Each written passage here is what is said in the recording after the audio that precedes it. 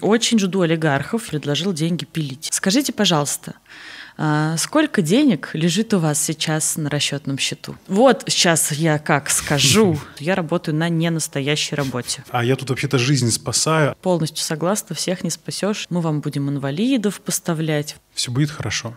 Пам-пам-пам. Фанаты футбола. Уху!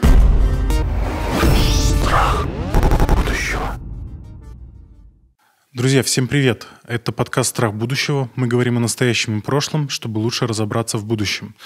А, потому что мы боимся того, чего не понимаем. Сегодня у меня в гостях Софья Жукова, директор фонда «Нужна помощь». Я надеюсь, вам понравится. Мы обсудили фундаментальные вещи про благотворительность и, надеюсь, поможем вам разобраться в этой теме. Приятного просмотра и прослушивания. Софья, привет. Привет. А, во-первых, хочу тебя поздравить с попаданием в список Forbes. Пока не по состоянию, но 30 до 30 это достаточно почетно. Как у тебя ощущения? На самом деле это была очень давняя моя мечта. Я э, записала себе в пожелание два года назад, что хотела бы туда попасть, и это уже ну, как бы граничащая была история. 30 мне стукнуло как раз, э, когда проходил отбор в лонглист. Я рада, но немножко расстроена. Мне даже фотосессию Forbes не проверили и вообще, вот какого, не понимаю, я ждала этого. Можно было хоть так. Окей, okay, а в какой номинации это получается социальное предпринимательство или как а, это Нет, это звучит? социальные практики, а. звучит это так, и это как раз та номинация, в которой участвуют и социальные предприниматели, и руководители некоммерческих организаций, и создатели некоммерческих организаций, или а, просто какие-то активисты, которые что-то сделали классное а, для социальной сферы. Mm-hmm. Так что достаточно широкая э, история. Очень много в других номинациях тоже было людей, которые делали социальные проекты, например, руководители или какие-то IT-технологии, э, но э, были связаны с социалочкой. Но вот мы были в отдельной категории. Окей. Okay.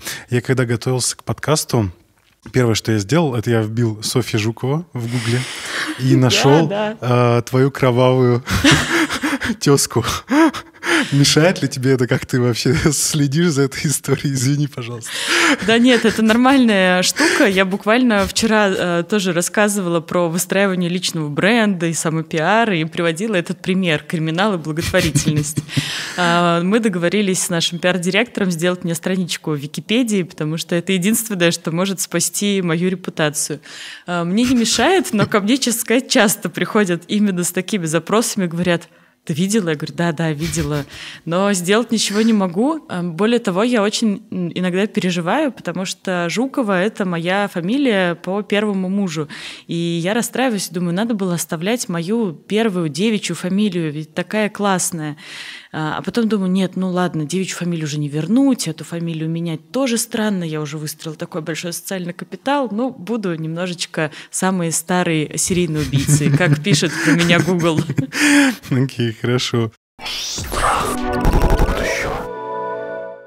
А, у тебя такой вектор, то есть в биографии, да, у тебя сначала был э, социальный педагог в социально-реабилитационном центре Возрождения, потом ты перешла в благотворительный сектор. Угу. Не звучит как, знаешь, карьера, о которой мечтают в детстве. Ну, там, кто-то мечтает космонавтом, там, ну, то есть какая-то крутая должна быть работа, какая-то траектория, а, карьера. А вот у тебя социально это что-то вот из детства или как ты выбрал эту траекторию? Да нет, так сложилась судьба. На самом деле, говоря про социального педагога, это личная история.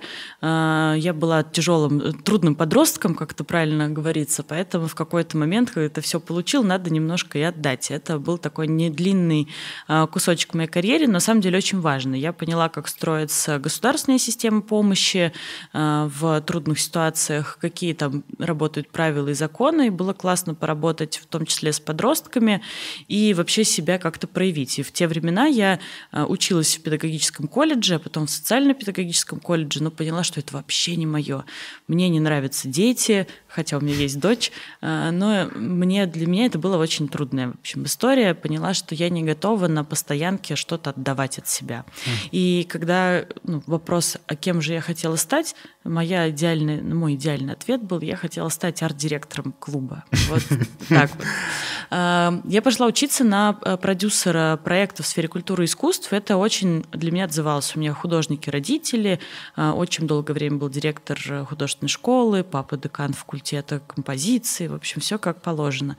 Но я сама не рисовала, и мне казалось, что менеджмент в искусстве — это как раз то, что мое. А, а дальше оказалось, что все это так близко, и, и все произошло случайно. Фонд меня впервые позвали работать вообще случайно, так что это не было планом, но, заканчивая свой длинный спич, я считаю, что это супер круто, потому что карьеру все-таки в социальном секторе построить можно. Вот mm. это вот. Ну, твоя должность, как бы ты директор ну, одного из самых крупных фондов России, как бы. Да. И да. ты попала в список Forbes. Значит, что... все-таки это может работать. Как прошло твое 24 февраля? Ну как прошло? Мне кажется, я уже не помню. Это такая травма, которая стирается из головы очень быстро. А, на самом деле мы, конечно, все собрались, все, все сразу собрались и стали ну, я начну сначала. Наверное, как прошло мое 23 февраля, потому что я буквально там за пару дней мы встретились с Митей, поговорили про все планы, что мы делаем дальше. Он как раз вернулся из одной поездки, собирался в другую поездку, и нам нужно было сверить часы, как вообще дальше будем жить. И мы только переехали в новый офис, и я была на подъеме, а потом все, пришлось э, очень быстро мобилизироваться. Мы сделали встречи руководителей, а, они были еженедельные, мы сверяли повестку, что происходит. Мы каждый день, мы до сих пор, начиная с 20 числа, по сегодняшний день следим за током и притоком пожертвований по всем программам. Ну, то есть просто мы стали жить в ситуации а, мобилизации собственной такой, смотреть, что с нами происходит, надо ли нам какие-то принимать решения. Это первое. Второе, ну, как бы мы перешли от долгосрочного планирования и идеального менеджмента, который мне хотелось строить, опять в ситуацию живем двумя неделями, финансы планируем на квартал не больше. Вот какие-то вот так вот прошло. Мы понимали, что все поменялось, теперь мы живем по-другому. Угу. Ну вот меня больше про твои личные эмоции. Вот э, как бы ты же ну, человек, да, и, или ты у тебя стерся прям совсем этот день? Ну, да нет, не стерся. Я хорошо помню. Я проснул, ну, да, это уже, наверное, было 25 число, то есть когда уже прошли первые все, Сутки. да, а, все, все эти истории. Я точно помню, ну, неважно, какое это было число, что я, я рано встаю, а мой муж встает поздно. Я лежала в ванной и полтора часа читала просто все, ну, все новости. И я его разбудила, говорю, ты знаешь, что случилось? Он говорит, нет. И тут, ну, как бы, вот, наверное, вот так. Вот для меня это был просто, ну, наверное, это, не наверное, это был ужас, а потом бессилие, а потом дальше просто непонимание, что мы делаем дальше. Такая фрустрация на какое-то неопределенное время. И самое главное, никаких решений. Ну, то есть такая пустая голова, когда ни на что нельзя опереться. Вот так. Реклама. Этот выпуск поддержал издательство Alpina Nonfiction. И сегодня я хочу порекомендовать вам вот эту книгу критическое мышление. А, конечно, критическое мышление не панацея, как и логика а, в отрыве от каких-то знаний. Это, ну, может быть, не очень полезный инструмент, а, но том Чатфилд, автор этой книги, он приводит достаточно яркие примеры, разбирает э, все, помогает э, подойти к анализу информации, поэтому в наше время заботиться о своем эффективном мышлении точно очень важно. По крайней мере, это позволит вам совершать меньше ошибок и лучше анализировать информацию. Поэтому сегодня моя рекомендация вот эта книга. А по промокоду FUTURE вы получите скидку в 15% а, на любые книги издательства. Ссылка в описании. Приятного чтения. И, конечно же, да пребудет с вами наука. Что с благотворительностью в России сейчас вообще, да? Какой диагноз и какой прогноз? Я не люблю строить прогнозы, но все же э, я тоже сегодня готовилась и возвращалась ну, каким-то, в том числе, историческим событиям. И у меня есть несколько векторов, куда хочется посмотреть. Что происходит сейчас? Сегодня сегодня что у нас, июнь? Июнь, угу. э, почти середина, все освоились. Я не знаю случая закрытия фондов, ну, то есть они до нас не дошли. Кто-то закрыл программы, кто-то сократил сотрудников, но э, некоммерческие организации продолжают существовать. Да, пожертвования упали. Упали пожертвования крупных доноров, но опять же, июнь, немножечко ситуация стабилизируется, что-то возвращается. В марте у нас было 34% отписок, э, и мы смотрим вот соотношение. Сейчас там 27%. Это значит, что ситуация улучшается. Что как бы еще? Да, пожертвований мало, но все ищут способы. Очень много креативных э, подходов началось. От сборов э, криптовалюты э, до каких-то открытий зарубежных организаций, сборов через кого-то как-то. Ну вот, с одной стороны, это все классно, а с другой стороны, меня это расстраивает и пугает, потому что это все очень на грани либо те вещи, которые не поддаются законам на сегодняшний день в России, зоне, да. да, либо которые нарушают те принципы, которые мы транслируем как системный фонд. Нужна помощь, ни о какой прозрачности уже говорить не приходится. И меньше всего хочется какого-то вот белорусского сценария, когда э, деньги завозят в чемоданах буквально, и благотворительность разрешена только на государственном уровне, и никак иначе должен за все отчитаться обязательно перед тем, как потратить. Там забавные есть истории, mm-hmm. что, например, на зарплаты нельзя тратить. Вот я бы не хотела, чтобы до такого дошли, это печально. Ну и говоря про прогноз, коротко, ну вот, сейчас, вчера буквально я уже говорила про эту новость, э, Владимир Владимирович э, сообщил, что мы должны создать все условия, а, чтобы поддерживать в том числе некоммерческие организации из республик э, Луганской и Донецкой. А, что это значит? Это значит... И при этом вчера же, например, наша организация не получила ни одного гранта фонда президентских грантов из трех заявок, которые мы подавали, мы не получили ни одной. Соответственно, поддержки будет не так много, потому что она будет распределяться на более широкие э, массы некоммерческих организаций. Угу. Чего боится благотворитель? Вот ты как благотворитель, который вот в этой сфере. Ну, давай мы оговоримся, я не благотворитель, хотя я тоже делаю пожертвования, и вот в тот момент, когда я их совершаю, я благотворитель. А все-таки моя работа здесь э, не являться благотворителем, а быть э, Менеджер. менеджером, да, связующим звеном между благотворителем и тем, кому эта помощь нужна. Но если все-таки твой вопрос про меня как сотрудника и чего мы боимся сейчас, Ой, ну хороший вопрос. А, Признание иностранными агентами, да, мы точно боимся в большинстве своем, потому что это накладывает дополнительные требования к отчетности. Мы и так отчитываемся больше, чем бизнес, когда все говорят, что мы непрозрачная сфера, ой, там столько приходится сдавать отчетности. Плюс это удар по репутации. Ту репутацию, которую мы строили так долго, я 7 лет работаю в секторе, и каждый год мы только и говорим про доверие, доверие, доверие. Оно, конечно же, рушится, когда э, по радио Соловьев под одну гребенку говорит, что ну, все эти иностранные агенты разрушают э, наш, нашу страну. Ну, так происходит к сожалению или к счастью, не знаю, тут это не важно, не всегда. Много организаций классных, которые работают только на благо, и так уж получилось.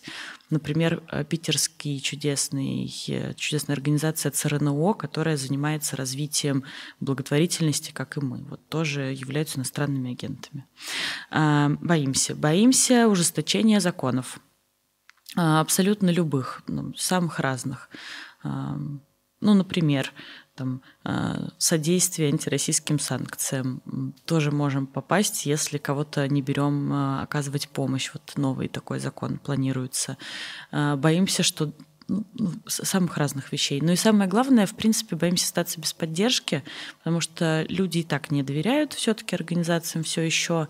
Как мы увидели, банковская система нас тут вот мы так долго к этому шли и делали ставку на регулярные пожертвования, на массовые пожертвования. Ну и что? В итоге все наши постулаты разрушились буквально в, одни, в один день. Но не будем как бы тоже тут далеко грустным. Наверное, это самое основное разрушение связей а, из-за того, что из-за окрашивания вот в эти черные и белые тона, кто-то хороший, кто-то плохой, на таком большом уровне. Очень много сил туда было вложено. Зачем вообще благотворительность НКО, если есть государство? Мы платим налоги, а государство не справляется с функциями благотворительности или как? Ну, Здесь тоже хорошая штука. Они не должны, по большому счету, справляться. То есть то, что транслируем мы, мы являемся отдельным сектором. Да, есть государство, есть бизнес, а есть вот мы, третий сектор экономики. Мы тоже формируем денежные потоки.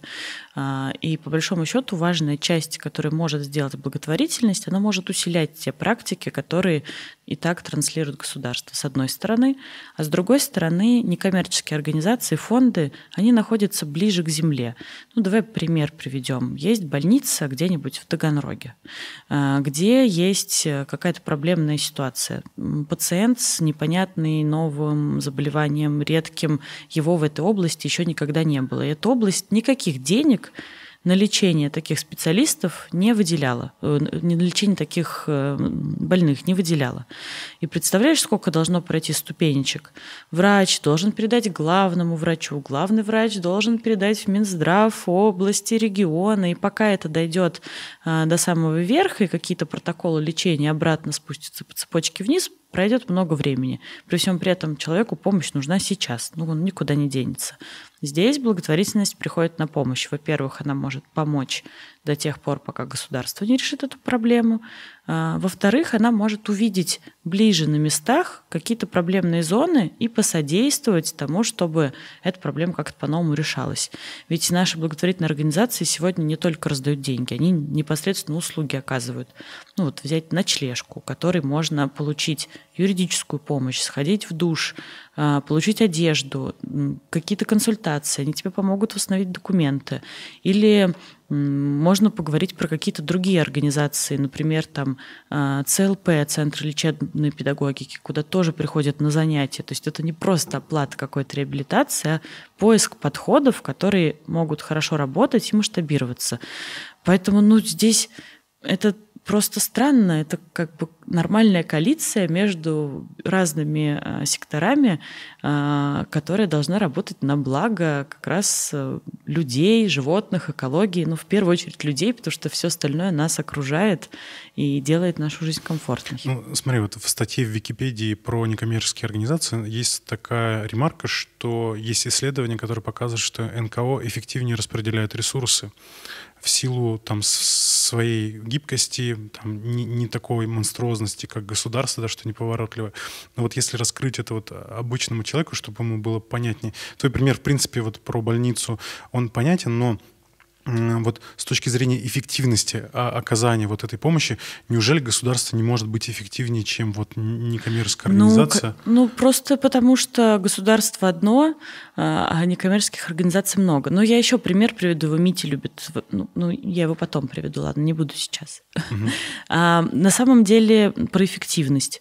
Блин, интересный вопрос. Ну, кажется, что да ладно, ну, не знаю, фонды ищут разные подходы. Им, mm-hmm. им как бы, да, тоже Оговорюсь для простого слушателя. Фонд – это не просто тот, кому ты даешь деньги, а он их передает другому. Так можно было бы просто помогать Васе, Пете, Маше. Это был бы самый простой вариант. Но, во-первых, далеко не, не все мы можем разобраться, какая Васе, Пете, Маше помощь нужна. Это первое. Во-вторых, э, фонд помогает маршрутизировать этих людей, животных, экологию, культуру так, чтобы это было, правда, максимально эффективно. И вот отсюда, что такое максимально эффективно. Пример – а, был у меня чудесный, много чудесных историй. Например, была женщина, которая пришла как-то попросить помощи, пока я работала в адресном фонде. У нее болели ноги. Очень долгое время и она ходила в разные центры, и там она делала какую-то адскую гимнастику, вот эту вот ей прописывали наклоны, приседания и все вокруг. А когда она пришла попросить деньги на а, то, чтобы ей сделать замену тазобедренных суставов. Причем и одного, и второго. Мы говорим, как же так? Она говорит, ну я вот думала, что меня гимнастики спасут, но вот пришло время. Соответственно, что мы делаем как фонд? Мы разбираемся, а сейчас ей это поможет – а замена тазобедренных суставов лучший вариант для нее? Или есть какие-то другие варианты? Может, ей вообще это не нужно? То же самое с лечением за рубежом. Фонды никогда просто так никого не отправят лечиться за рубеж. А может быть, такую помощь можно получить в России, а может быть, за счет госбюджета. А зачем нам тратить эти деньги на помощь этому человеку здесь, если он может получить ее и так, по-другому. Мы лучше потратим на помощь другого человека. Ну, то есть здесь подход такой ну, как раз менеджерские использование ресурсов максимально эффективно. Но и нам не хочется ну, ходить по второму кругу. Это тоже странно. Вот есть одна и та же проблема, которую мы видим, что она происходит из раза в раз.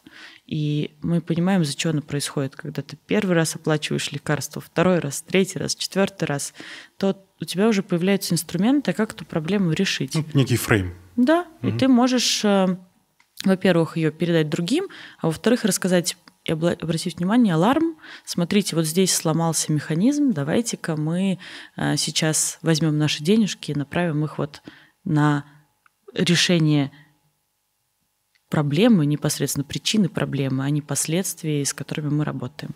Ну mm вот как э, вообще вариантов э, много. Говорить, что распределяем ресурсы, опять не всегда фонды распределяют ресурсы. Если ты сделал пожертвование конкретно на лечение собачки, то мы не можем их потратить никуда, кроме как на лечение собачки. А когда мы захотим построить э, реабилитационный центр для собак, то нам нужно будет прийти к тебе и сказать, нам нужны деньги не на лечение собачки, а на, леч... на постройку центра. Вот ты можешь сказать, не, не хочу центр строить, не понимаю, как он работает, а мы уже понимаем, мы уже столько собачек полечили, но ты будешь дальше давать на лечение собачек. Центра mm-hmm. не будет. Вот, ну, как-то так. Реклама. Друзья, как вы знаете, YouTube ограничил монетизацию, поэтому я обращаюсь к вам за помощью, чтобы вы поддержали наш проект «Страх будущего». По ссылкам в описании э, на Boosty Patreon вы можете выбрать награду и сумму ежемесячного пожертвования, которая будет списываться у вас автоматически с карты. Если вы живете за рубежом, у вас зарубежные карты, то это Patreon. А если вы живете в России, у вас российская карта, то сервис Boosty.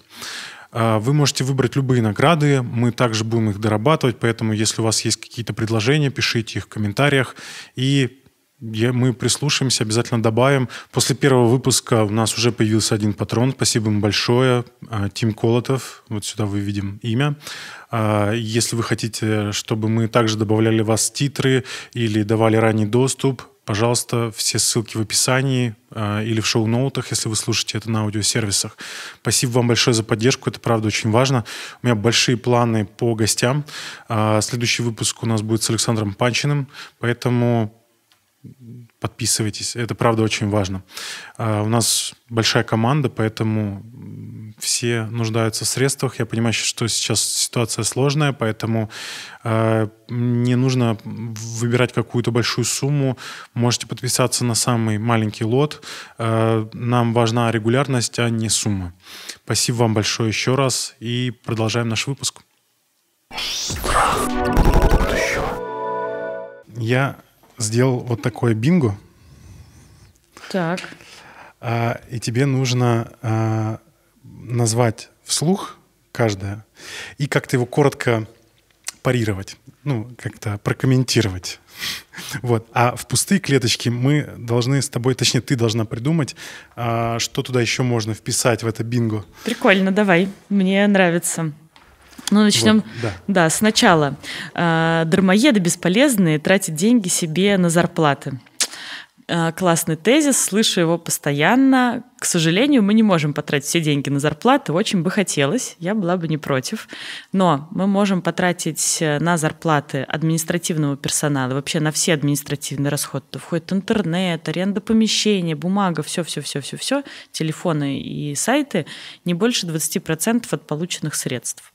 Конечно, у нас есть вторая история. Мы это можем... на законодательном уровне. Да, конечно. То есть конечно. не вашим уставом. Да, не нашим. Это вообще всем. Более того, стандартом у нас тоже есть такая этика. Мы стараемся максимально снижать этот процент всегда. Такой стандарт благотворительности, ну, 13%, не больше. Давайте не будем э, до конца в это заходить. Это первое. Второе. Есть второй путь. Например, у меня есть сотрудница Маша. Сотрудница Маша оказывает непосредственную помощь. Ну, например, она социальный педагог.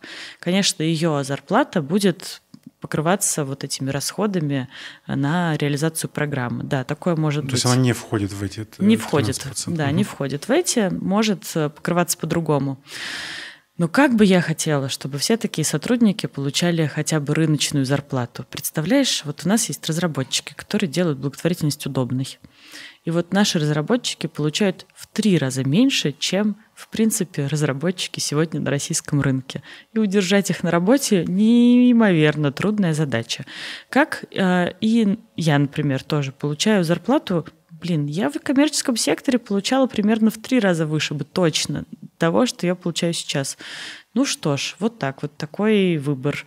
Ам, грустно, ищем самые разные способы друг друга поддерживать, но, к сожалению, нет, не на зарплаты. Будет такой момент в моей жизни, когда мне официально разрешат тратить что-то на зарплаты, с удовольствием потрачу, но это невозможно. Окей. Убедила? Да. Слава богу. Я закрашу. Е. Так, помогать нужно анонимно, а не пиариться. Ну, нет, не нужно, потому что если ты не расскажешь о своей помощи, то больше никто другой помогать не будет. Самый действенный способ помощи – это вот волонтерский фандрайзинг, пир-ту-пир, от человека к человеку. Надо максимальному количеству своих друзей и приятелей рассказывать, что ты сам помогаешь, что тебя еще не ограбили, э, не убили, деньги с карты не списали, и что помощь твоя эффективно дошла, если это действительно так, чтобы как можно больше людей стали помогать. А если это будет происходить анонимно, то мы так и останемся с тремя процентами э, ежемесячных жертвователей из интернет-пользователей России. Это вообще не дело. Так и будем непрофессиональной благотворительностью заниматься, и, соответственно, помощи будет меньше. Вот. А, е- ну, окей, да, Да. да, да, давай. Не, ну, Да, да, задай я- вопрос. Не, не, у меня есть более, более развернутый вопрос, Ладно. потом. Хорошо, я зачеркну. Заниматься благотворительностью просто, чтобы уйти от налогов. Вот сейчас я как скажу. На самом деле некоммерческие организации тоже платят налоги, если что. А Если мы занимаемся коммерческой деятельностью, а мы можем ей заниматься, то мы должны заплатить налоги а, с поступлений коммерческих.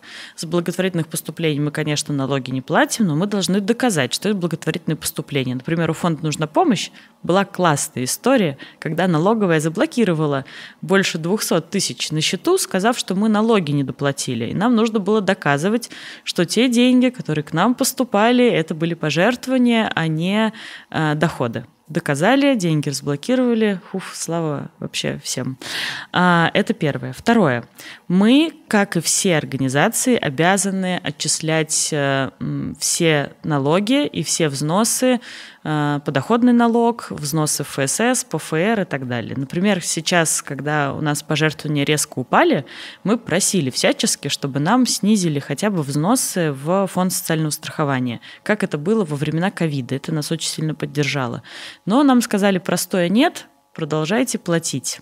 Так что здесь мы тоже, к сожалению, мало чего делаем. Ну и последнее. А, У нас так... Я считаю, что все еще нету никакого нормального закона, позволяющего э, уменьшить э, налоговую базу для бизнеса. Вот если ты как физический человек пожертвуешь нам деньги, то ты можешь заполнить справку 3 НДФЛ, сходить в налоговую, вернуть часть своих денежек э, обратно. В виде налогового вычета. Да, в виде налогового вычета. А для бизнеса у нас тоже такое появилось, но это такой минимальный процент вообще, уменьшающий на 1% э, налоговую базу. Ну, короче, господи, опять же, мы были бы рады, если бы у нас было нормальное законодательство, которое позволяло бы э, отказываться от налогов бизнесу, чтобы заниматься благотворительностью, не платить их. И это привлекло бы к нам больше пожертвований. У нас же есть еще одно, потом впишу, если тут такого не будет, что э, благотворительностью должны богатые заниматься, а не мы все. Вот. Э, ну, короче, это вот да, у меня денег нет, пусть олигархи. Вот чтобы олигархи помогали, давайте они хоть чуть-чуть поменьше налогов платить будут. Так что нет, мы невозможно уйти от налогов, если ты занимаешься благотворительностью. Ну, мне кажется, это стереотипы из американских фильмов больше, потому что там Да. есть такое законодательство, Да. и вот отсюда этот стереотип. Да, у нас нету, нет. Лучше человеку дам денег. А, Это замечательный вообще а, пример. Я очень рада, если вы даете деньги людям, если вы знаете этого человека, и вы уверены, что эта помощь ему нужна. Все-таки вот расскажу историю. К нам как-то мальчик пришел и сказал, мне нужно денег на а, то, чтобы вернуть себе зрение. Я познакомился с врачом, он готов колоть мне стволовые клетки в глаза. Тогда я снова буду видеть.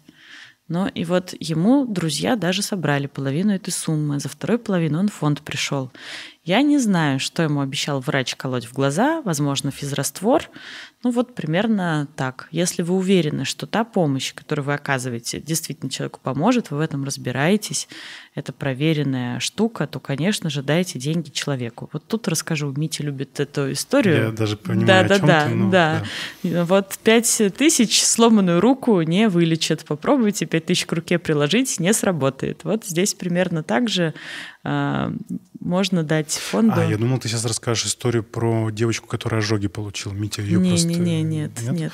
А, он мне просто рассказывал историю про вот адресную помощь когда, ну, в общем, неблагополучная семья, родители и э, маленький ребенок, там несколько лет, э, девочка, э, пожар случился, ну, алкоголики родители, э, и она получила ожоги. Люди с алкогольной зависимостью. Люди с алкогольной зависимостью, извините, пожалуйста.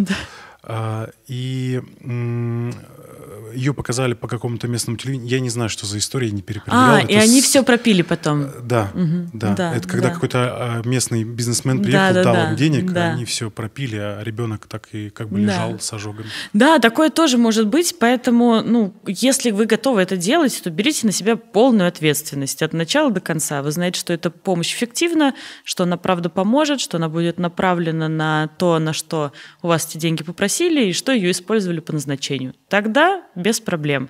Если вы не готовы так заморачиваться... А фонд, соответственно, такой контроль осуществляет? Это вообще наша работа. Угу. Первая — осуществить контроль. Вторая работа — создать условия, чтобы тебе было максимально просто дать нам денег. Вот угу. это вот все сложится тогда. Угу. Так что, не.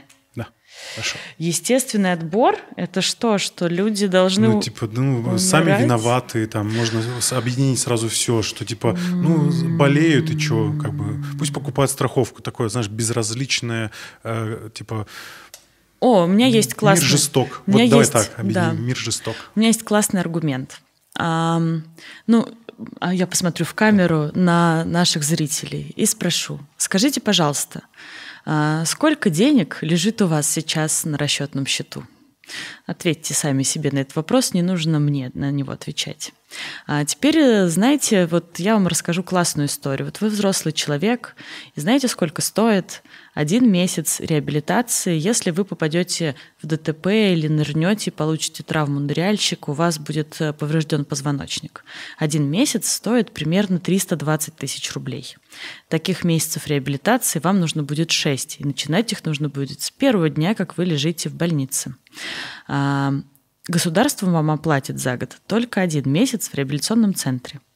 Вопрос – Сколько взрослых людей могут себе позволить встать на ноги после такой травмы? Ну вот не знаю, кто бы хотел оказаться в такой ситуации, когда ты э, все понимаешь, ты здравомыслящий человек, э, но ничего не можешь сделать, потому что тебе необходимо пройти реабилитацию. Страховку надо было раньше покупать. Ну, я, я сейчас не эту точку зрения отставлю, это как бы, да, оппонирую. Ну, да, надо было. Такой культуры у нас нету. Хочется спросить человека, который это говорит, есть ли у тебя страховка в этот момент, и что ты уже застраховала, что еще не успел. Для меня это какая-то абсолютно дурацкая история. Это про то, что естественный отбор, ну да, ну забавно. Вот не знаю, в моей жизни вокруг меня есть люди, которые попали в такую ситуацию, потом получается, что страдает не один человек, который не купил страховку, а вся его семья, которая не может а, им теперь нужно ухаживать за человеком, который находится в таком положении. Скорее всего, кто-то еще лишится работы, если в этой семье, если это был взрослый, жене приходится, там, взрослый мужчина, жене приходится лишаться работы, ухаживать за взрослым мужчиной, а если у них есть дети, то они оказываются практически на собственном попечении, что чревато другими проблемами. Прикиньте, вся ячейка как семья начинает страдать потому что никто не готов оказать помощь, нужно было раньше оформлять страховку. Ну, так можно не жить. Самый простой способ не попадать в сложные ситуации в жизни. Окей. Okay. Не знаю. Ну, понятно, нагрешил, теперь отмаливает. Это про то, кто э, жертвует. Да, да. Я начинала свой путь в благотворительности в фонде «Православие и мир», который сейчас называется «Правмир». Я не знаю ни одного донора, который нагрешил и теперь отмаливает. Правда, у нас были крупные доноры, но вот таких вот э, не случалось. Э, ну и слава богу, если человек хочет э, таким образом, если это для него мотивация, ну хорошо, у всех мотивация разная, я вообще не против. Если он считает, что это ему как-то поможет, э, э, попасть в рай, э, искупить свои грехи, и он в это верит, ну, добро, добро пожаловать. Мы с удовольствием примем его пожертвования и направим так, чтобы оно хорошо работало. Не вижу ничего в этом плохого. Так. Эм. Пилят деньги. Это про фонды. Пример прям расскажу. Мне тоже был в практике. К нам как-то пришел э, человек и предложил деньги пилить. У нас вообще много таких было ситуаций, когда к нам с самыми разными схемами. Мы вам будем инвалидов поставлять, вот это вот все. Вы им только переводите деньги, мы потом с вами будем делиться. У нас есть деньги, которые мы можем вам перевести, инвалиды, которых мы можем вам дать. Давайте вы будете им платить, и они будут нам наличные возвращать. А, то есть от- отмывание. Да, Мгм, да, да, конечно. Ну, то есть, если уж говорить по чесноку, то такие варианты, ну да, потенциально могут быть. Но какой в этом смысл? Нужно быть очень, во-первых, рисковым человеком, а во-вторых, очень жадным человеком и вообще ничего не боящимся человеком. А, В жизни не знаю, можно деньги попилить, а можно классное что-то сделать. У нас были ситуации, когда деньги, которые, не знаю, можно было попилить, спасали жизни людей по-настоящему. Может, кто-то и пилит. Правда, не могу ничего по этому поводу сказать. Могу сказать, что фонды, которым помогает фонд «Нужна помощь», деньги не пилят. И мы не пилим. Можете приходить смотреть на наши отчеты, отчеты в Минюст, э, проверять хоть все документы в нашем офисе. Э, Мы вас покажем, что, вам покажем, что этого не делаем. Кто-то, может быть, делает. Боитесь обжечься, приходите на платформы, которые занимаются верификацией типа нашего. Вот так. Мгм. Не знаю, может, пилит. Всех не спасешь. Ну да, всех не спасешь. Тоже вообще полностью согласна, всех не спасешь, и не надо даже пытаться. Есть один есть вот эта практика, значит, а, осознанного альтруизма, вот этого эффективного альтруизма. Ты предвосхищаешь мой вопрос потом следующий. Я книж- книжку про это А. привезла. Да. Но эм, тоже у меня был, я еще не работала в «Нужна помощь», у меня состоялся, я была на лекции, где мы презентовали книжку, которая вышла у нас, и параллельно фонд «Друзья» презентовал книжку, которую, э, которая вышла при их поддержке, как раз про вот это вот все, кому надо помогать, кому не надо помогать. И мне тогда так не понравилось э, э, громкие заявления Мити Лешковского. Я ему написала в Facebook, я говорю, Мить, у меня есть вопрос. Вот у меня есть 500 тысяч рублей. Я могу на 500 тысяч рублей провести 10 э, генетических анализов для а, детей самых разных, и для кого-то это поможет восстановить, понять диагноз и вылечить их, для кого-то не поможет. А, В общем, но зато что-то мы с ними сделаем. Для кого-то это реально спасительная будет история. Это первый вариант. Второй вариант. У меня есть семья священника, который живет на Дальнем Востоке. У него 14 детей очень бедный приход. К нему приходит социальная служба и говорит, что хочет детей у него забрать. Есть нечего, непонятно, что делать, может перевестись в другую епархию, но ему нужно 500 тысяч, чтобы с Дальнего Востока приехать к нам сюда поближе со всеми своими вещами и 14 детьми. Кому мне помочь? Интересный вопрос. Здесь 10 детей вот таких вот. Кто-то из них вырастет, станет каким-нибудь классным врачом. Здесь семья священника с тоже детьми, которые могут оказаться в а, нашей системе и стать а, сиротами. Вот. Мы так и не смогли ответить на этот вопрос. А, Долго дискутировали. и Я тогда написала Мите, говорю, слава богу, что у меня есть миллион, поможем тем, и тем. Вот примерно такой э, вариант. Чем больше будет тех, кто готов помогать, тем больше нам удастся спасти. Ну, не, не будет больших, всех действительно не спасем. Такая, такая уж жизнь. Не могу даже поспорить с этим, но зачеркну.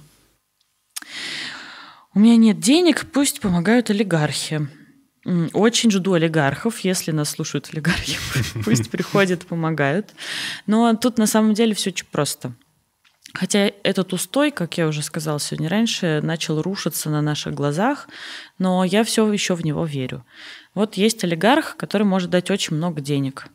Вот дал нам олигарх денег, нам хватило, хватило этих денег, чтобы на целый год оказывать помощь. А на следующий год олигарх решил денег не давать. Что это значит? Что всем тем людям, которым я планировал помощь оказать, я ее не окажу, а если я оказываю помощь какой-то категории людей постоянно, ну, например, у меня есть тренировочная квартира, куда ходят ребята с ментальными нарушениями здоровья, куда мне их девать? Выселить, если олигарх от нас уйдет? Поэтому здесь ну, это первый тезис. Деньги олигархов не вечные. Сегодня олигарх есть, а завтра на него наложили санкции, что-нибудь с ним случилось, его бизнес обанкротился, и все те, кому мы помогали, остались без помощи. А, второй тоже важный тезис. Дело в том, что, кажется, это наше общее дело – помогать тем, кто находится вокруг нас. И здесь важно личное участие каждого, желание проблемы вокруг себя решать. На этом строится как раз гражданское общество, когда мы все вместе показываем, в том числе рублем, о том, что меня это беспокоит. Я хочу влиять на решение этой проблемы.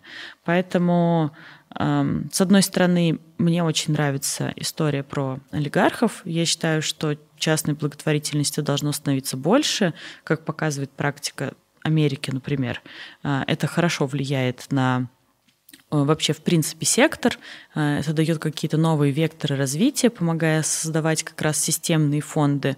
Обычно они как раз живут на деньги олигархов, причем на эндаумент фонды, фонды целевых капиталов. Сейчас для всех переведу. Очень просто, когда ты... А, Жертвуется миллиард, инвестируется в да, консервативные инвестиции да, на процент, осуществляется да, операционная да, деятельность. Все, супер, спасибо. Вот, да. Ну, короче, Пусть олигархи делают так, но, кажется, и наше участие здесь тоже очень важно. Так что без этого никуда не деться. Угу. Я молча помогаю, не кричу об этом на каждом углу. Ну, это вот было похоже на... Да, это про, про популярных людей а, уже, что как бы вы пиаритесь просто, дешевый пиар, когда какая-нибудь известная актриса или там инфлюенсер и так далее, что я вот пожертвовал деньги, или я там, там съездил в детский дом или еще что-то, то есть какой-то вот э, такие вот штуки, он такой, лучше бы молчала и молча помогла. Ой, я иногда сама, к сожалению, кажется, я не, за, не за, я уже оспаривала это, но я все же расскажу. Коль ты сказал про известных людей, рассказываю. Когда я вижу, как а, в а, разных социальных сетях какие-то популярные блогеры помогают детям и просят своих подписчиков в том числе переводить деньги на личные карточки. У меня никогда не хватает терпения, я пишу им сообщения, говорю, боже мой, пожалуйста, приходите, я расскажу, как это сделать правильно.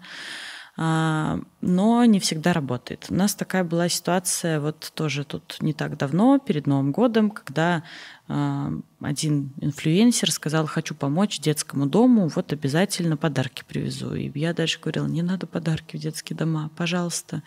Это вообще не классно. Он говорит, ну я хочу приехать, показать своим подписчикам, что я доброе дело сделал. Я говорю, мы все устроим, с каким другим фондом, ты приедешь, подписчикам расскажешь, только давай сделаем это так, чтобы это было полезно. Ну, в итоге переубеждала, переубеждала, надеюсь, что удалось. Эм, ну, как бы судьбу дальше отслеживать не стала. Короче, угу. я все это к чему? К тому, что э, грустно мне это все слышать. Можно кричать на каждом углу, главное делать это правильно. А, если хочется помогать, и вы какой-то известный человек молча, это ваш выбор, я не против, но помните, что у вас есть подписчики, и вы можете им рассказать, и они тоже могут начать помогать. То есть пиариться неплохо, а делать эффективно, главное. Да, да, да, это очень важно. Угу. Мы все зачеркиваем. То есть мне именно твои просто контртезисы да, да. и мнения. Да не, я понятно. Это все мошенники. У нас есть целое движение против мошенников и против сборов ящики, копилки в электричках и везде. А, ну, очень, ну, правда. Ну, у нас есть уголовная статья за мошенничество. Она распространяется на нас тоже. Мы сами внутри себя очень много занимаемся вот этой фильтрацией. Когда нам кажется, что что-то происходит не так в каком-то фонде, мы кричим и трубим об этом направо и налево и говорим, ребята, аларм, у нас проблемы, давайте что-то делать. Ну, ну как бы, ну, наверное, опять, я уверена, что мошенники есть. А, не хотите с ними сталкиваться, приходите на сайт фонда «Нужна помощь». Мы всех проверяем. Мы не позволяем собирать деньги на личные карты. А, мы проверяем отчеты. Нам важно смотреть, чтобы фонды соблюдали законодательство. Ну, далеко не все мошенники. Так что здесь я не согласна. Так, что нам еще говорят? На самом деле есть еще одна интересная история. Говорят о том, что я обращался во все фонды, и мне там не помогли. Угу. Мне никто не хочет помогать. Это интересный тезис о том, что бесполезно обращаться в организации, он отчасти тоже правдив, потому что фонды не помогают просто так. Если это фонд, который начал работать, который не мошенник, не пилит деньги, эм, который против понятия естественного отбора считает человеческую жизнь выше ценностью и так далее, то, скорее всего, у него есть длинная процедура проверки, как я и говорила. И фонды никогда не дадут деньги просто так на руки. И если эту помощь можно получить за счет госбюджета, фонд тоже не будет за это браться и собирать на это деньги. Угу. Потому что мы уже говорили про эффективность. Ну, поможет преодолеть, может быть, юридические какие-то да, барьеры. Да, ну или направит да. туда, где такая служба будет, но все же у людей остается представление о том, что во все фонды написал, мне там не помогает. Фонды это не, не кошелечек с деньгами, когда ты пишешь, и тебе тут же на карточку прилетает э, поддержка. Плюс фонды в большинстве своем не закрывают кредиты, э, не оплачивают долги, но такую помощь э, я не знаю ни одного фонда, который оказывает, поэтому да, не все фонды и не во всем помогают, но все же помощь получить можно. Вот. Как это сформулировать? Как ты... а, обращался в фонды, Не а помню. мне все отказали. Угу. Фонды отказывают.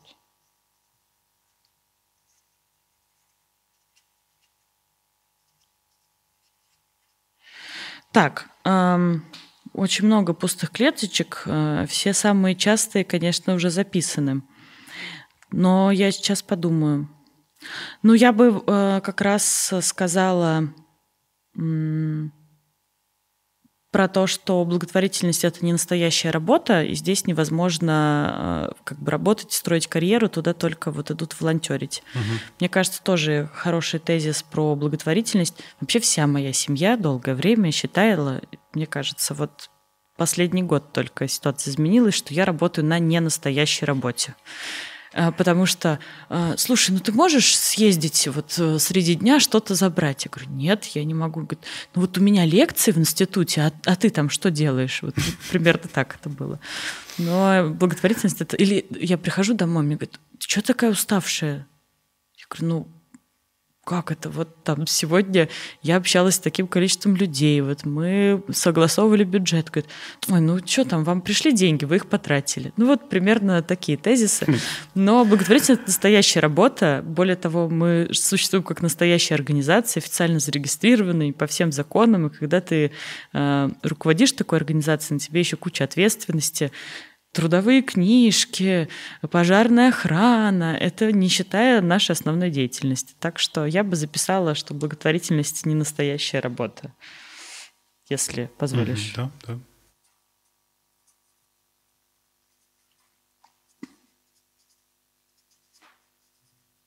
Ну и да, есть еще одна история про то, что в благотворительных фондах не должны получать зарплату.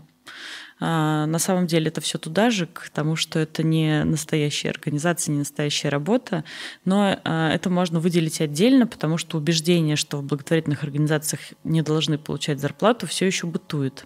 Но я скажу, у нас есть данные, мы же дата-ориентированная организация, мы проводим, проводим опрос профессиональной благотворительности из года в год. И если пять лет назад действительно люди говорили о том, что не хотят давать деньги на зарплату сотрудников, то в последний раз, когда мы проводили такой опрос, а, все-таки вот эта шкала, что готов часть своего пожертвования передать на зарплату тех, кто деятельность организуют, она выросла, причем значительно. И для меня это очень радостная история, что все понимают, что в фондах э, зарплату получают и готовы в том числе э, на это тратить деньги. Вот. Ну, тут аналогия, наверное, такая, что вы же не хотите, чтобы вас студент-первокурсник э, Медицинского, да, да, да, да. Все а так. профессиональный врач. Да. Поэтому я бы записала, что не получают зарплату. Но это же благотворительность, пусть работают бесплатно. Давай да, так, да, да, угу. работают бесплатно.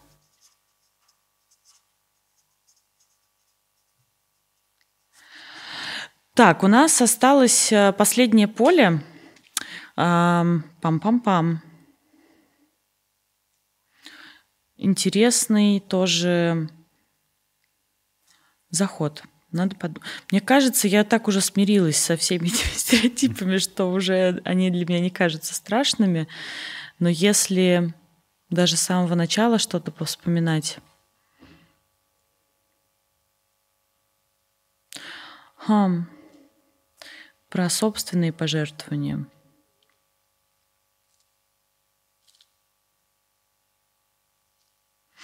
Не знаю, интересно. Что-то мне не приходит в голову. А, но, но нет, нет, могу сказать. Я сейчас на сайте заплачу, а у меня потом все деньги с карточки украдут. Угу. Вот, недоверие к онлайн-платежам угу. э, и всей вот этой вот истории. Она у нас тоже присутствует. Не буду подписываться на регулярное пожертвование, вы потом с меня столько денег снимете, что я никак с этим не разберусь. Мне кажется, это тоже частый такой стереотип донора, который не готов так жертвовать но э, его тоже можно, ну, хочется разрушить, потому что у нас нет данных платеж, ну, как платежным картам, да, мы можем потенциально увеличить ваши пожертвования, но с вашего согласия, а если мы его не получили, то вы можете обратиться в банк, запросить чарджбэк, а, или если это было мошенничество, к нам сама придет платежная система. Ну, есть же вообще лайфхак для интернета, что вы создаете виртуальную карту или ну, отдельную пластику, если вы фанат пластика, и просто все покупки или там да, пожертвования совершать да. с этой карты, переводя на нее какую-то Как вариант. Ну, сумму. слушай, еще не все так могут делать, далеко ну. не, не у всех есть такая высокая финансовая грамотность. Обычно те, кто э, готовы создать отдельную карту, у них таких вопросов нету. Но можно всегда дойти до отделения банка, перевести деньги там, если в этом есть уверенность. Ну и в конце концов, э, ну, как бы вариантов, э, как, как пожертвовать много, но самое важное, что всегда банк в банк можно обратиться, если вам кажется, что вас ограбили. Звонит мужчина как-то в выходной день и говорит, верните деньги. Я говорю, что случилось, почему мы должны их вернуть. И слышу на заднем фоне какой-то крик. Такой женщина кричит. Я думаю, что у них там происходит? Он говорит, ну вот моя жена делала пожертвование, и э, она вот тут ошиблась. Он говорит, я, я слышу, этот крик приближается, и женщина кричит в трубку, да я не ошиблась, они спис списывают деньги, они все воруют. Я говорю, так, ладно, давайте мы, конечно, все вернем. Кажется, я поняла, в чем причина. У нас на сайте есть две кнопочки. Одна разовое пожертвование, другая регулярная. Угу. И мы ставим по дефолту выбор на регулярное. Скорее всего, ваша жена при оформлении пожертвования выбрала регулярное. Он, ты регулярное оформила? Он говорит, нет, я оформляла разовое, все точно было так. Я говорю, вы не переживайте, сейчас остановим, тут разберемся, чтобы это была та сумма, которую вы хотите пожертвовать, но стереотип, что мы все украдем, и что данные карты фондом оставлять точно нельзя, у нас все еще остается, что это небезопасно. Реклама. Сегодня будет необычная реклама. Я попрошу вас поддержать фонд «Нужна помощь». А, и другие фонды, если вы знаете надежные. Также есть ссылка в описании. Вы можете выбрать любой фонд, а, выбрать сумму, и она ежемесячно будет списываться с вашей карты. Это очень важно. А, в этом выпуске, надеюсь, вы услышали аргументы, почему обычным людям важно поддерживать некоммерческие организации. Фонд «Нужна помощь» занимается проверкой фондов, их отчетности, а, помогает им работать более эффективно, и занимается образовательной деятельностью. Это такой фонд для фондов, поэтому э, если вы хотите поддержать развитие некоммерческого сектора в России, то фонд нужна помощь, точно нуждается в вашей поддержке, чтобы поддержать еще больше фондов по России и в регионах. В частности, этого мы а, касаемся в выпуске, поэтому ваша поддержка очень важна. Чего ты боишься, как человек? Просто. Ой, я как человек боюсь остаться без дома. Для меня, наверное, это самый страшный страх. Мне всегда хочется... В смысле, как собственности обладания или что ты подразумеваешь? А, ну да, наверное, так. Эм, у меня нету своего жилья, есть жилье у родителей, и я ну, как бы всю жизнь где-то э, снимаю в Москве, москвичка снимает в Москве квартиру, вот примерно mm. так. И мне очень страшно остаться э, без жилья. Мне кажется, что лично для меня это самый э, большой страх. Ну вот не иметь дома, куда я смогу возвращаться в старости, э, наверное, вот, вот так. Страх будущего законодательство или, и, и реформы, как быть, что делать, вообще что происходит. Ты уже упомянула, что вот сейчас появятся новые законы, но в целом вообще вот если говорить про будущее, а, то что можно или нужно поменять, чтобы было лучше?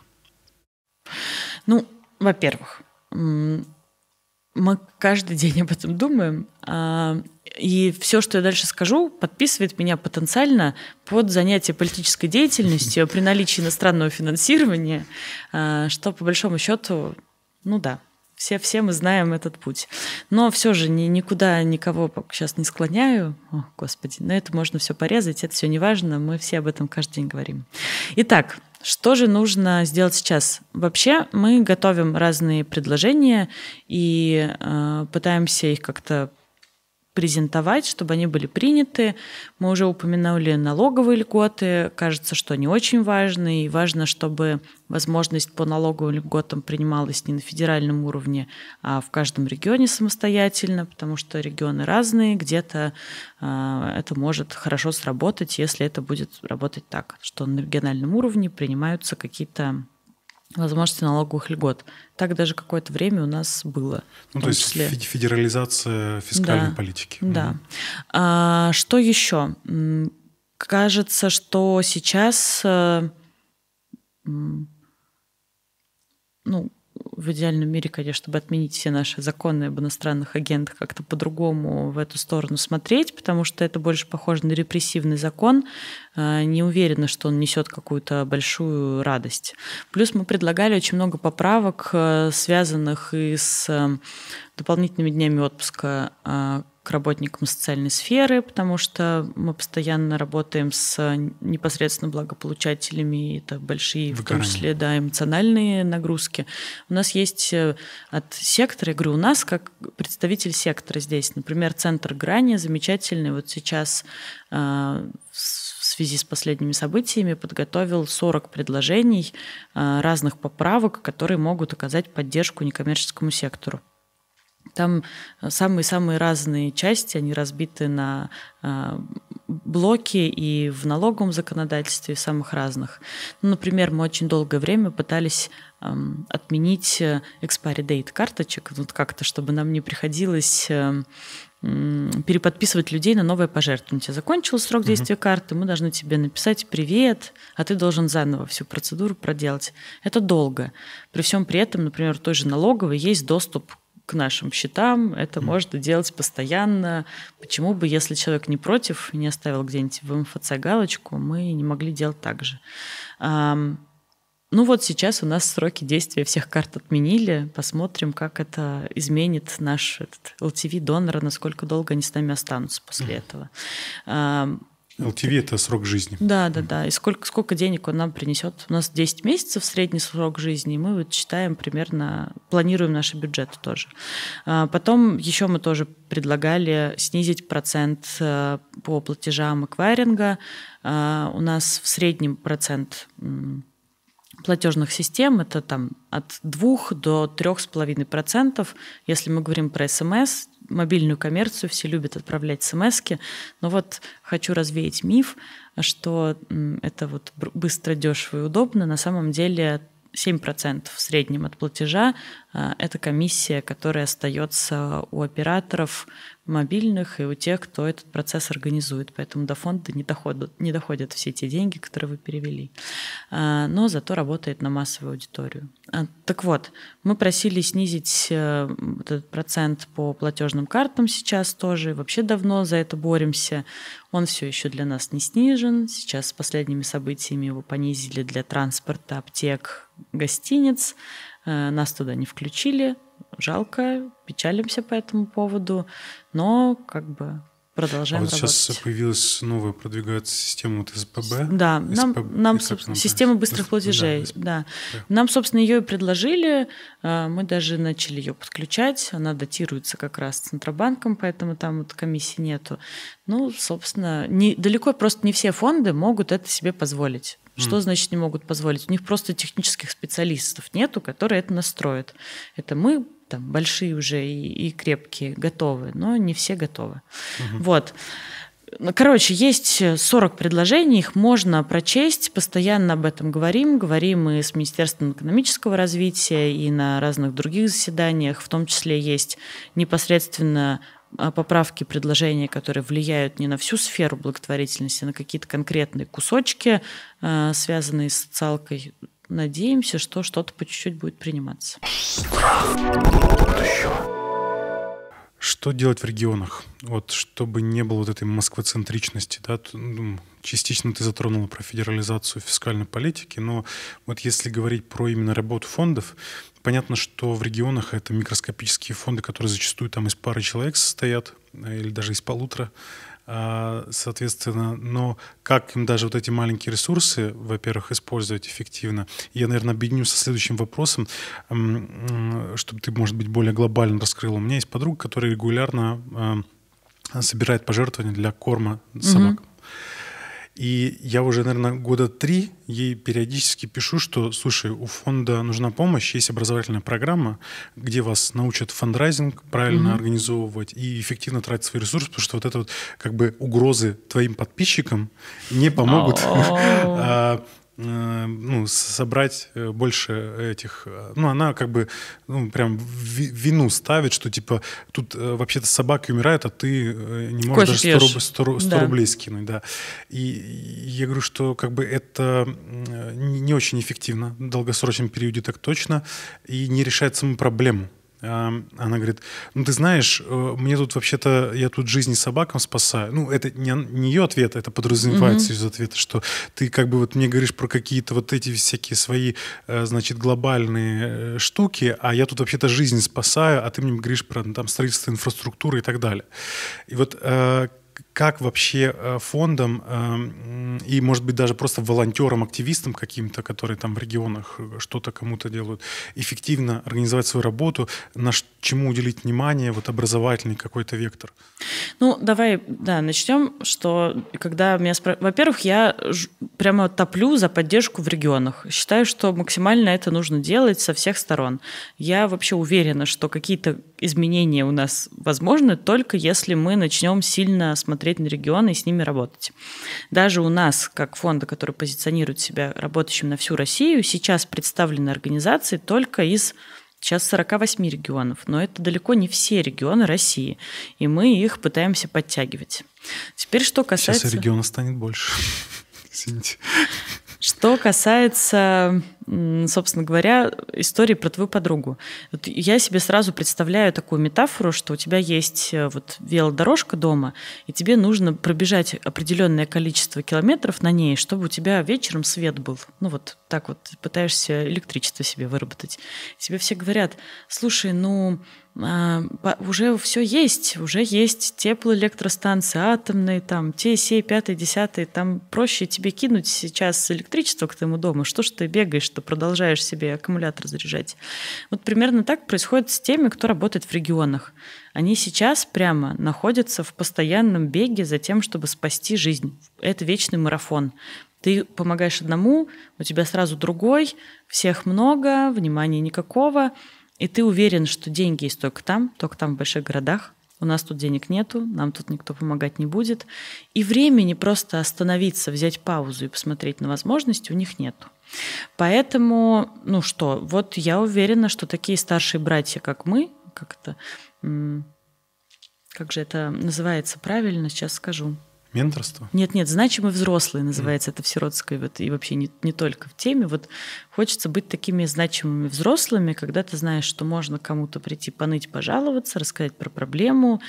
А, это вот, вот здесь мы, да, правда, есть образование. Но что еще важно? Мы говорим тебе, а, хочешь собирать много денег, надо сделать классный сайт. Мы тебе расскажем, как. Ты такой, о нет, может вы просто сделаете мне сайт? У меня вот тут вот собак надо накормить. Это тоже важная такая ситуация, которая у нас в благотворительности происходит. Как помогать непосредственно вот так вот крича все знают, а опять же ждут, что мы все сделаем за них, что деньги польются рекой. К нам тоже многие приходят организации и говорят, так, а почему мы с вами уже три месяца, а вы нам еще не собрали миллиард рублей? Мы говорим, ну вот потому что нужно ваше участие в этом. А, у нас есть региональный координатор в Новосибирске, например, Катя.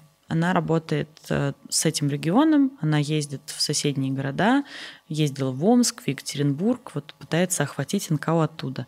Она их, знаешь, как охватывает? Она прямо их за шкишку берет и говорит, сейчас я вам буду помогать. Э, ну и она рассказывает все на более простом языке, на том уровне, на котором это доступно для региона, переводя наши курсы, зазывает их к нам. Такой вот у нас есть э, десантник, который это делает на месте, показывая, что это можно. Новосибирск классный, в принципе, регион по развитию благотворительности. Там много таких организаций.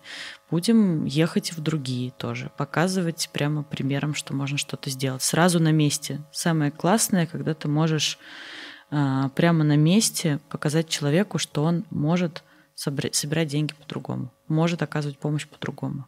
Ну и ни в коем случае мы очень против вот этой всей боли, нельзя обвинять людей никогда, что они виноваты, что кому-то не помогли. Угу. И мы дошли до Блица. Давала ли ты когда-нибудь деньги попрошайкам на улице? Да. Милосердие или эффективный альтруизм? Точно эффективный альтруизм. Выбор, если только можно один сделать. Адресная помощь или системные изменения? Я правда считаю, что важно и то, и другое, и что без адресной помощи невозможно системные изменения. Но когда я выбираю, я выбираю системные изменения. Угу. А с кем из людей прошлого и настоящего ты бы хотела встретиться и пообщаться? Ну Кого-то вот... одного.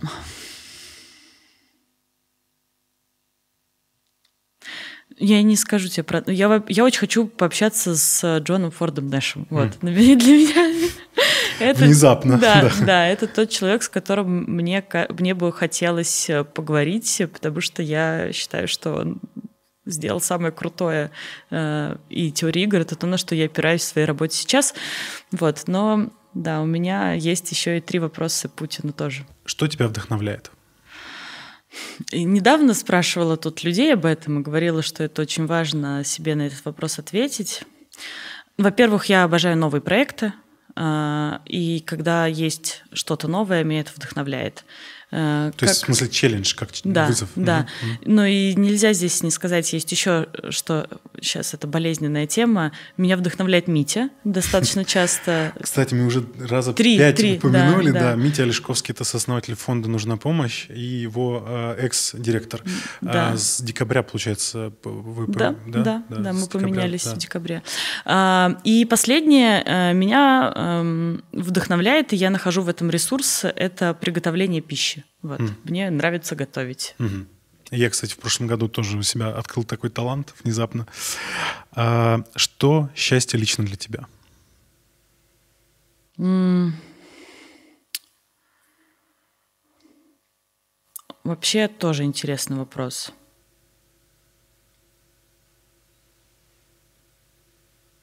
Если честно, я не знаю. Я нахожу какие-то мелочи вокруг, которые делают мою жизнь классной. Не знаю, мне нравится, а, когда удается целый день провести с дочерью в поездках, и она не ноет. Нравится уткнуться дома под бочок. Нравится, когда все складывается так, как было запланировано на работе. Нравится, когда один созвон в день или было 10, и все отменились. Ну, какие-то э, такие мелочи, э, наверное, нету глобального счастья. Не знаю, просто, возможно, сейчас о счастье говорить очень трудно для меня вот в сегодняшнем дне, потому что кажется, что все такое неопределенное, что я пытаюсь просто из каждого дня его вытаскивать и радоваться вообще всему, что есть. Угу. Все будет хорошо. Я уверена, это вообще самое главное, что я говорю. Все мои сотрудники знают, что я заканчиваю почти все фразы. Все будет хорошо. Да, да, все точно будет хорошо. Да, поэтому все будет хорошо. И финальный конкурс у нас. Эм, у нас в первом выпуске конкурс был про то, что нужно придумать концепцию шоу. Но я подумал, не хочу повторяться. У э, фонда «Нужна помощь» есть такое как бы sub-медиа, э, «Такие дела», которые вы основали. Ну, оно как независимое, но основано фондом. И там рассказываются личные истории каких-то людей, какие-то социальные проблемы освещаются и так далее. И я хотел предложить нашим слушателям, зрителям рассказать какую-то историю в комментариях а, про человека или про какую-то социальную проблему в любом месте, не, не обязательно даже в России, там, в любом а, уголке мира, и описать ее короткой историей. Если эта история будет правда интересна, может быть, такие дела как-то более развернуто осветят это, а лучшим историям мы подарим книжки, которые ты любезно привезла. Давай тогда все-таки это будет история про кого-то в России, потому что мы пишем про Россию. А, вот. Окей, да. хорошо. И да. я э, сразу референс, референс, да. чтобы такие дела такое осветили. Вот у нас есть э, история про сантехника-модельера, например, который работает сантехником, параллельно шьет э, костюмы. Вот какие-то такие штуки для нас, правда, классные. Ну, давай расскажу про да, книжки. Давай, давай. А, на самом деле я везла книжки из тех, которые есть у нас у меня дома. Все эти книжки, не знаю, куда показать. Все эти книжки вышли в нашем издательстве, которое мы открывали. А, и так вышло, что я прихватила с собой более профессиональную литературу, нежели то, что мы стали выпускать сейчас. Сейчас у нас такие более классические книги с рассказами, а это то, что может оказаться полезным. А давай кор- кор- да. коротко про, про каждую книгу. Давай начнем со 100 друзей. 100 друзей – это книжка про как раз peer-to-peer фандрайзинг, я его упоминала, волонтерский фандрайзинг. Peer-to-peer от человека к человеку. Да. Угу. Как собирать э, деньги. Она подписана, но даже не мной. Так, а Она подписана Сергеем Игнашевичем. Воу, нет, мы такое не будем разыгрывать. Почему? Ну, это же тебе подписали. Не, нет, мы ее разыграем. У меня есть еще одна такая, я просто не ожидала. Точно, точно, точно. это Окей. супер. Короче, расскажу историю тогда Давай. про эту книжку в первую очередь. Фанаты футбола. Уху, короче. Блин, мне даже неловко просто, что мы у тебя отбираем Да, у нас есть э, классная платформа, пользуясь случаем, где можно открыть свой сбор и собирать деньги на всякие разные э, движухи. Прямо сейчас у нас идет футбол футбольный турнир, чемпионат, где мы через эту технологию тоже собираем деньги. Наш чемпионат уже который год поддерживает Сергей Игнашевич. Он э, входит в наш попечительский совет и является таким э, адептом, в том числе волонтерского фандрайзинга, футбола, и вот помогает нам так делать. На прошлом футбольном турнире мы собрали 2,5 миллиона рублей. А, все команды соревновались в сборе денег и в футболе, собственно говоря. В этом году я тоже играю в футбол в команде Sisterhood, и мы собираем деньги на помощь центру сестры. Вот. Так что поэтому книжку про волонтерский фандрайзинг, про то, как э, волонтерский фандрайзинг продвигать и как вообще с ним работать, и как сделать так, чтобы вам стали стали жертвовать деньги на те фонды, в которые вы верите, на те проекты, в которые вы верите. Это вот тут. Тут прямо практически пошаговая инструкция. Да еще вот и с подписью реально угу. э, Сергея Игнашевича. Слушай, ну придется тебе определять, потому что я перед собой такую дилемму ставить не хочу. Кому какую книгу. Ладно. Вот вообще было бы интересно, если бы книжка Питера Сингера была подписана Питером Сингером. А, Питер Сингер приезжал в э, Россию, в Москву, у нас были с ним тоже лекции здесь. А, это как раз тот человек, который и рассказывает про эффективный альтруизм, про то, кому нужно помогать и как уменьшать страдания.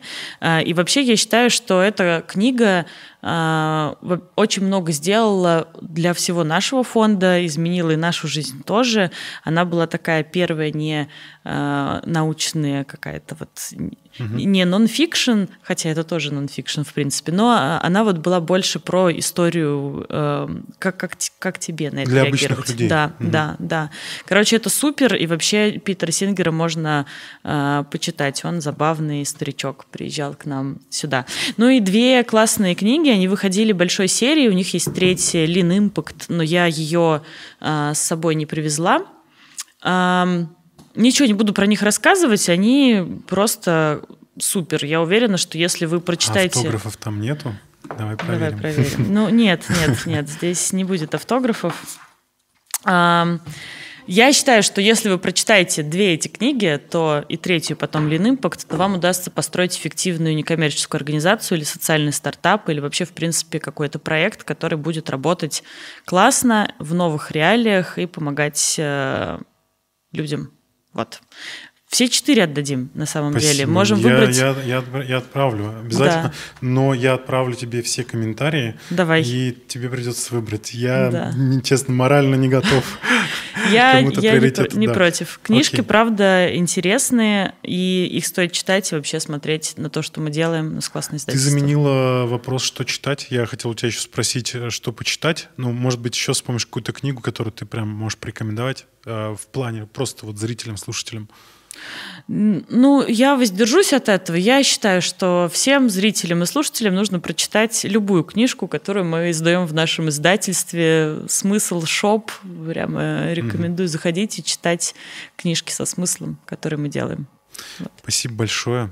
Очень познавательно было. Спасибо тебе большое, да. что позвал. Пока. Все, пока.